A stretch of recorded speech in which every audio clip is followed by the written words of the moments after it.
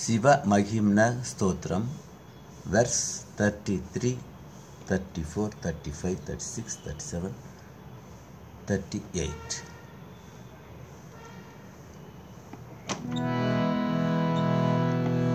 असुरसुरमुनीन्द्रै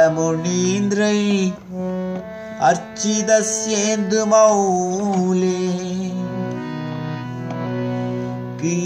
क्रदितगुणमहीम्नो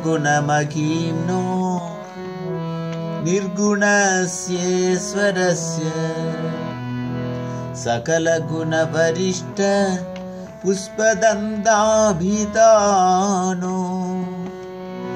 रुचिरमलगुव्यरुत्तै स्तोत्रमेदच्चकार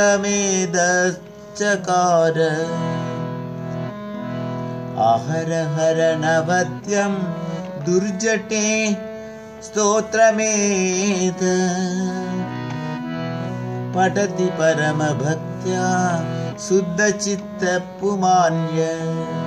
स भवति शिवलोके रुद्रतुल्यस्तदात्र। प्रसुरतरतनयायु पुत्रवान् कीर्तिमांश महेशान्नापरो देवो महिम्नो नापरास्तुति अघोराण्णा परो मन्त्रो नास्ति तत्त्वं कुरो परम्। दीक्षादानं तपस्तीर्थं ज्ञानं यागादिका प्रक्रिया। महिम्नस्तव कलां नार्हन्ति षोडशीम्।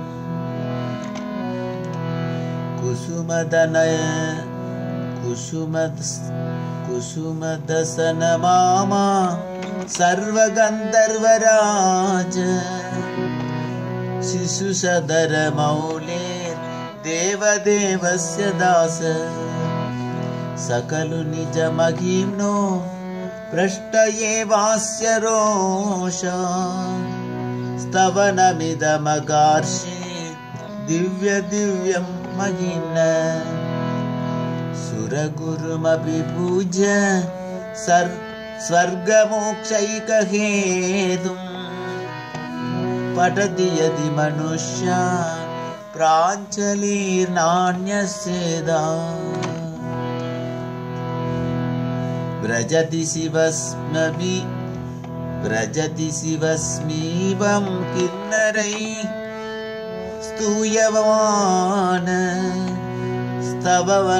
स्तवन् स्तववनमिदमोकं पुष्पदन्दै पुष्पदन्तप्रणीतम्